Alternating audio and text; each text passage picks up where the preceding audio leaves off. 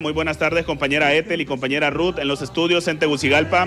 Les comento, este fin de semana se ha celebrado, eh, bueno, la alborada y también una misa a la Virgen de Suyapa aquí en la parroquia de San Lorenzo, aquí en Madrid. A continuación, escuchemos palabras del padre Juan José Arbolí.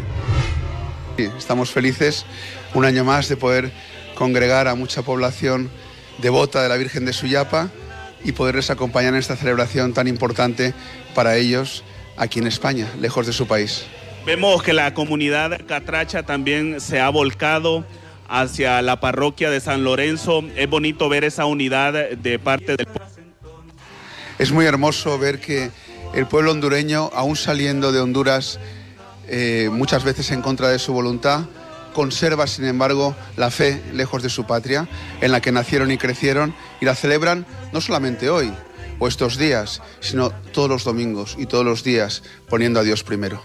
Algo muy importante, padre, también porque, bueno, la fe es muy eh, importante eh, cuando también eh, se encuentra uno lejos de su patria, es también una fortaleza que encuentra el ser humano en Dios sin lugar a duda. Yo les digo con mucha frecuencia a los hermanos de Honduras que han venido a España a traer un tesoro y el tesoro es su testimonio de fe. Aparentemente vienen a buscar algo, pero en realidad vienen enviados para traernos esperanza, alegría y la fuerza de creer. Más de 500 hondureños y hondureñas se reunieron en la parroquia de San Lorenzo aquí en Madrid para cantarle a una sola voz a la morenita, Madre de Honduras. Con las imágenes de mi compañero Juan Arteaga para Impacto BTV Honduras les informó Nelson Melgar.